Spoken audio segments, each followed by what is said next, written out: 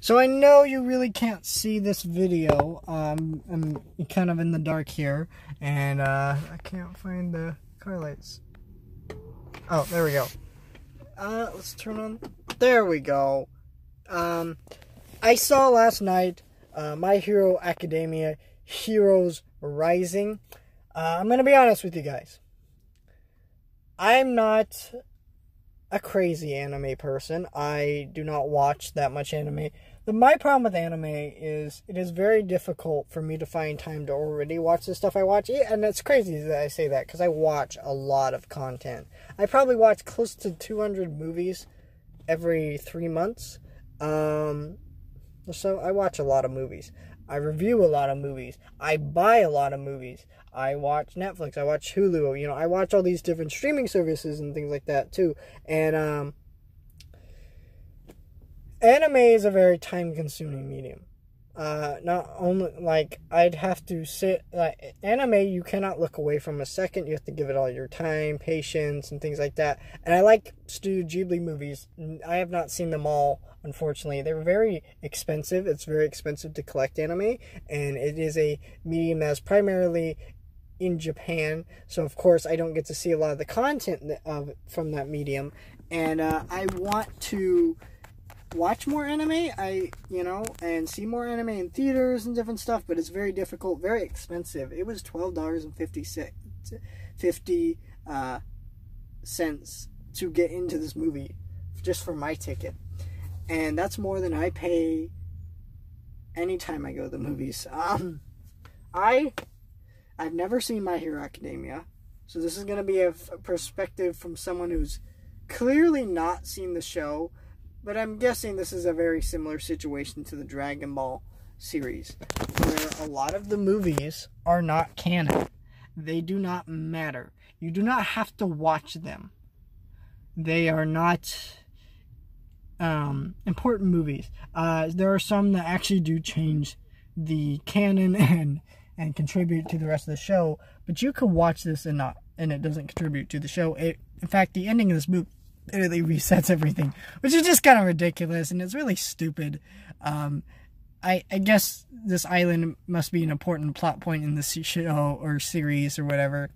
I don't know. I I could tell I like some of the character dynamics, like Deku and uh, Daku Dakugo, or I don't know. I don't know these characters' names. Um, I think it's a cool idea. I think these heroes that are up and coming, you know, these kids are up and coming heroes and stuff is really cool concept. It's interesting series. I don't know if it was necessarily um, my thing. I do want to check out the series and start watching it, and I will be, and I have already started doing that. Um, I'm, and it's a pretty cool show, but I don't know.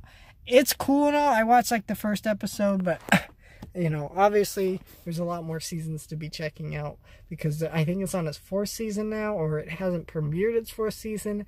Um, it's pretty cool series, cool concept. It's got great music and stuff, but I can tell I need to see the movie or the series to understand this movie.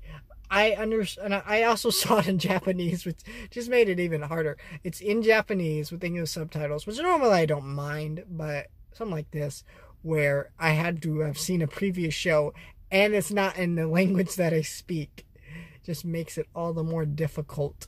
It is so freaking funny that uh this happened, but I I saw it because I wanted to. I kind of wanted to check it out and see if like if I can get into the series this way because that's kind of how I got into um Dragon Ball a little bit. I saw the Broly movie. I knew the basic plot elements of Dragon Ball. Like I've seen parts of the series, but I didn't see it all. And I got to see more of it. I became a bigger fan of it, and I was it was like Dragon Ball is my jam after that, and it it still is. I haven't collected the series because it is very expensive, and I'm waiting for the Dragon Ball to come out on Blu-ray. But yeah, I'm kind of just filming this in the car. I don't really know why. I, I, I don't have to make a video on this, and I originally wasn't going to, but I just decided it'd be cool. And uh, this mustache is pretty darn pretty darn sexy.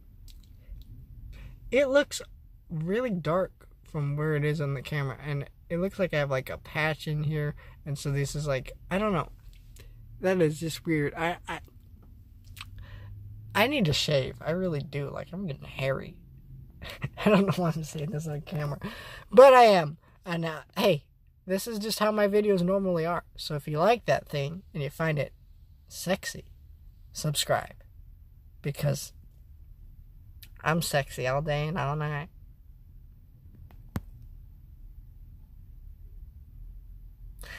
Now that this video is made all awkward and creepy, subscribe, like, share, subscribe. Don't actually uh, try not to tell your friends that you're watching.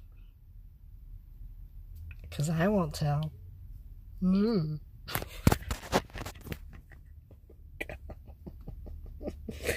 oh, I kill myself. Not literally, because that would be painful.